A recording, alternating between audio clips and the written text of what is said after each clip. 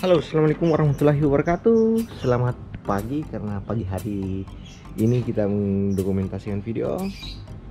Salam Gapi Lovers dari Gupi 0411.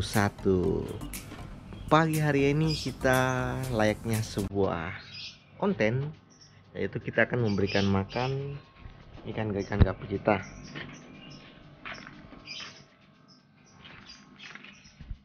Nah, yang kita berikan makan pagi hari ini merupakan jentik hidup yaitu terdiri dari kutir. Kutir yang kita ternak di farm. Dan gupi 0411 yuk kita ambil kutirnya.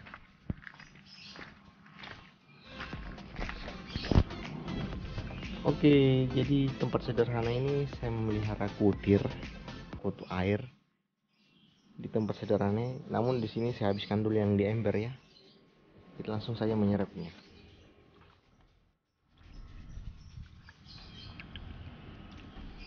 Lumayan kita serap lagi. Lumayan dan kita serap di bagian sini. Wow lumayan. Lumayan kita taruh di sini. Hasilnya lumayan untuk pemberian pakan untuk ikan gapi yang khusus berwarna cerah. Yuk langsung saja kita memberikan makan ikan gapi yang berwarna cerah seperti albino full red.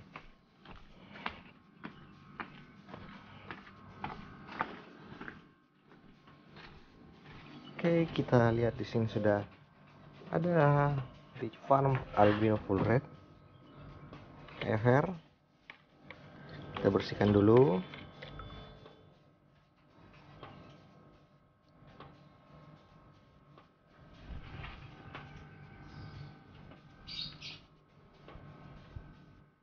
Nah, jadi sekali serokan ini kelihatan ada campur jentik sebelum bersihkan jentik nyamuknya dan ada juga cacing merah. Langsung saja kita memberikan pakan ke Iver. Wow, merah ya. Makan dulu coy.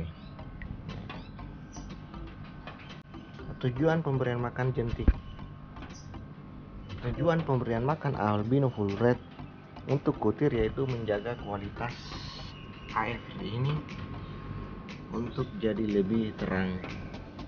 Warna merah nah, dibuat tips buat teman-teman gapi lovers yang ingin mencari kualitas berwarna merah berikanlah pakan jentik atau kutu air minimal satu hari.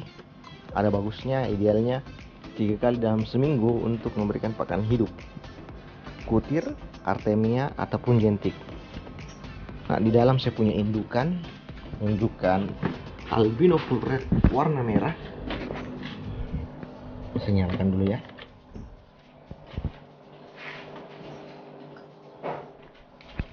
Nah, di sini saya punya albino full red.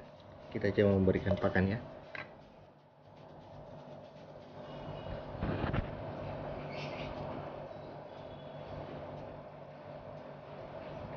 Nah, dia sudah datang. Ini adalah salah satu gapi indukan saya untuk saya ternak. Albino full red berribbon merupakan indukan yang saya sortir.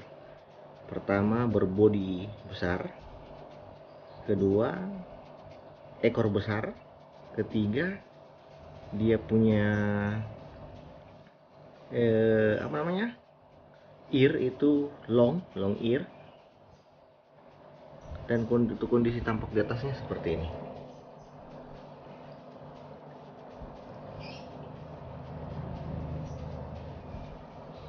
Untuk indukannya atau betinanya saya masih sortir yang big body juga seperti ini.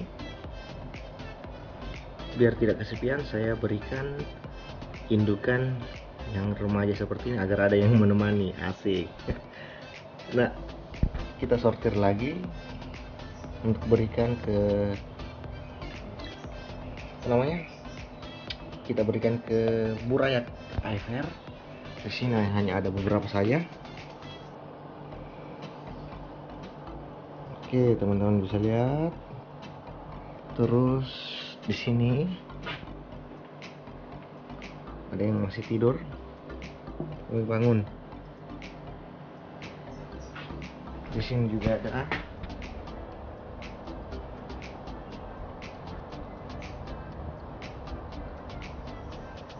Nah, pemberian saya ulangi kembali pemberian pakan untuk ikan gapi yang berwarna cerah itu bagus. Di sini juga yang butuh warna cerah itu Pena Blonde Double Sword. Seperti ini dan indukannya yang ini. Kita langsung memberikannya.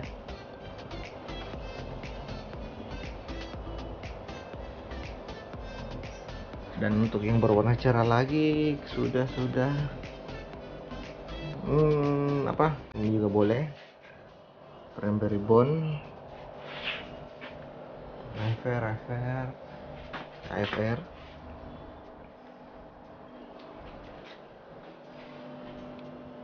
saya ya. Sebenarnya sudah tidak membutuhkan warna merah tapi kita kasih makan saja. HB blue. Nah di sini ada yang lagi sedikit lagi brojol. Kita memberikan pakan. Hidup jentik nyamuk.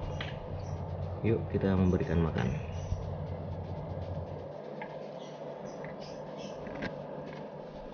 Teman bisa lihat betinanya wow sangat senang memakan makanan hidup atau kutu air. Asik. Dia semangat untuk berburu kutu air. Mungkin betina ini akan berojol atau keluar anaknya. Kalau bukan dua hari lagi sebentar malam mungkin memungkinkan tapi ya itu hanya sekedar tebak-tebak bro di sini juga ada betina bluegrass. Kita coba kasih makan lagi ya. Ini bluegrass.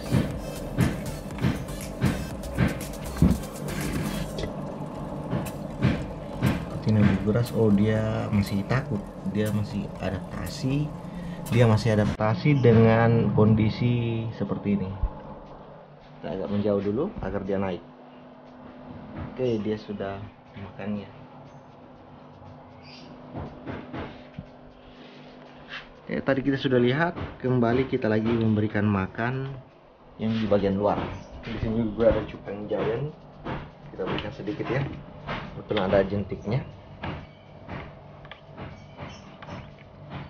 Woi, hmm.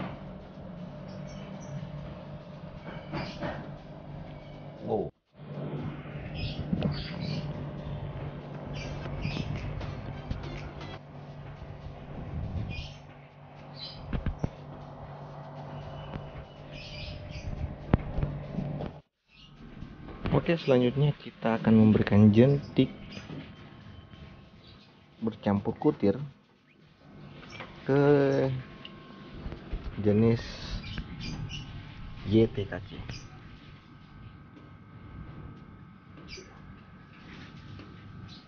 Oke, jadi ini Yellow Tiger King Cobra atau YTKC. Di sini ada prembe. Prembe ini membutuhkan yang namanya pencerahan warna merah.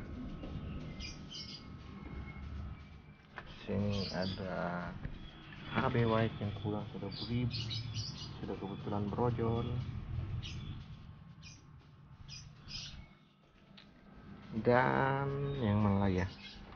Oh iya, burayak juga banyak di sini. Ada burayak ini Japan blue, blue grass, sky blue. Sky blue bisa dikasih namun jangan terlalu banyak karena bisa mempengaruhi warna. Ini blue grass, ini blonde, Japan blue double double sword. Oops.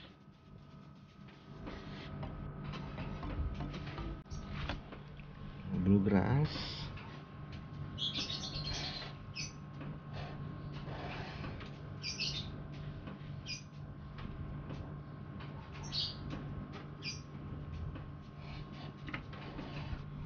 Oke dan beberapa jenis-jenis lainnya. Namun yang jenis lainnya saya tidak memakankan kutir. Saya cukup memberikan pakan junk food atau biasa dengan sebut pelet nah sekira hanya itu dulu kawan. Bagaimana aktivitas kita atau daily vlog kita memberikan makan hidup ke gepi kita baik itu satu hari sekali atau dua hari sekali. Baik itu menggunakan kutir jentik dengan bertujuan agar gupi kita sehat. Yang bagi yang ingin mempus atau mencari warna cerah baiknya ikan gapi kalian diberikan makan yang berprotein tinggi seperti kutir yang saya katakan tadi atau jentik. Saya kira sekian kawan dari Denggupi 0411 untuk daily vlog. Aktivitas makan gapi pada pagi hari ini. Semoga dalam video ini memberikan informasi terkait bagaimana cara kita memberikan makan pakan hidup dengan cara diternak serta tips untuk pemberian pakan hidup di gupi di gupi kalian. Semoga video ini bermanfaat. Salam gapi lovers dari Denggupi 0411 dadah